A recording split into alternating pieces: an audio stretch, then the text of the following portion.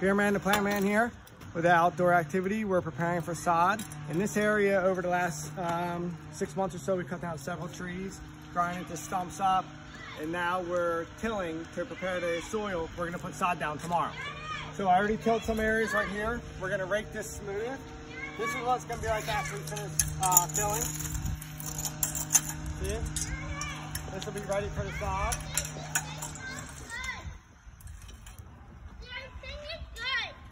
Is the tiller.